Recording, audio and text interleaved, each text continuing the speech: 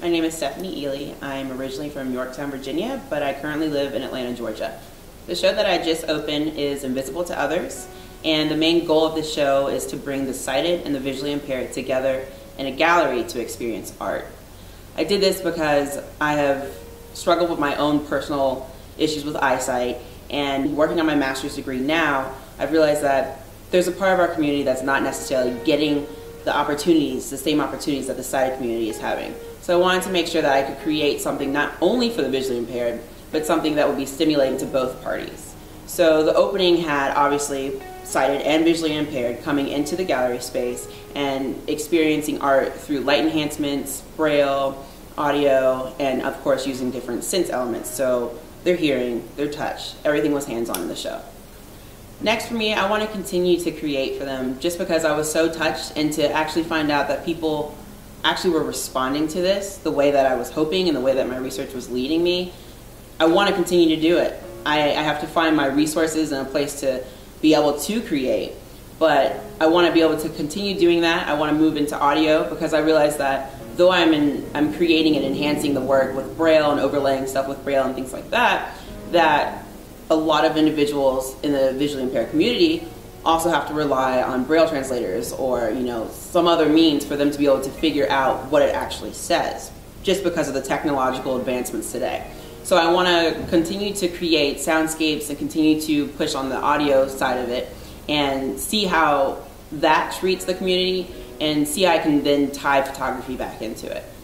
I normally photograph people I enjoy shooting portraits rather than landscapes or still lifes because for me it's all about the connection that you make. It's all about not necessarily the location that I met you in, but our personal experience. Recalling your facial expressions and the personality that you carry about yourself, that's what I'm going home with. So those are the type of people and those are the type of images that I want to capture. People have continuously asked me, why have I decided to create work for the visually impaired? And it stems back to me having an extremely strong astigmatism. So it's not that I have a degenerative eye condition where I'm destined to lose my eyesight. What I've realized is that it is a huge fear for me being a photographer. You know, this is my main source of being able to communicate with someone else is to take a photograph. So if a photograph remains flat, and if I were to lose my sight, like many of the people that I've met at the Center for the Visually Impaired, that makes me say, how am I going to continue to do this? What, how am I going to continue to live my lifestyle the way I know it? So I want to continue to create things that will push photography in another world than what it is today. I have contemporary artists that have inspired me and then personal individuals that I've met that have inspired me. One of the main people being Conchetta Davis.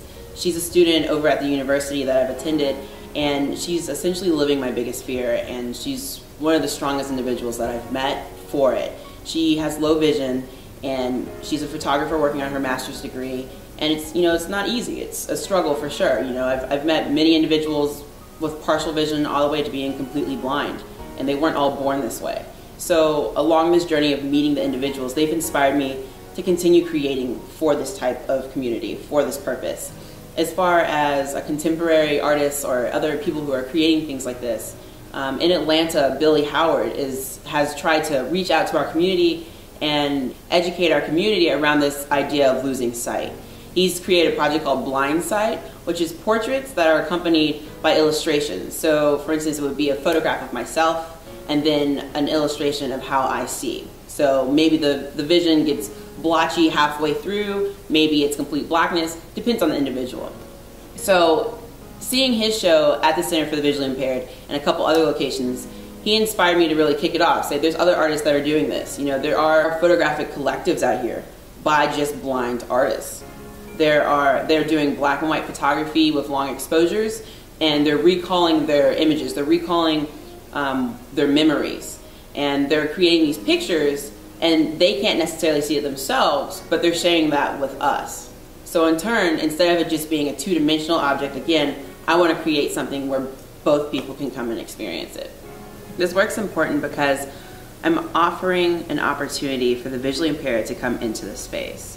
I know that I'm focusing this around the visually impaired, but it's also about the sighted. It's bringing the communities together because I feel in our society there's this prejudice against the visually impaired and they vocalize to me how they sometimes feel that they're segregated or that they're treated like a disease when that's not the case. You know, just because you're visually impaired doesn't mean that you're not able to function and you don't enjoy certain things that everyone else does. Um, I think that working with the people that I've met, I've learned that they were a functioning part of our society before. You know, they were chefs, they're teachers, they're mothers, they were they were actors. And so there's creative minds out there who want to be involved and just because they've lost, you know, their sight, one of their five senses, they've almost been pushed into a corner and been categorized to disabled. And that's not necessarily that's not them at all. You know, the, the, the gentleman that prepared the food the evening of the show was completely without sight and made, he was able to prepare food for 200 people that came out. So this work is important because I want to vocalize for them that they're important. If nowhere else, let art be a place that everyone can come together. One thing that I think is very important to take away from this show is yes, it was a great experience, but the idea that there's a lot of stigmas that need to be erased from what it means to be visually impaired. These people are just as capable as you or myself. And I think that if you're willing to come out and get to know someone and extend yourself, you'll begin to understand that and everything will kind of come together. Not only within my art exhibition, the world of art, but just us in general as a society. Extend yourself, get to know someone else, and remove the stigmas that have been created in our society. If you're interested in finding out more about my work, you can visit me at www.stephanieeleyphotography, Stephanie.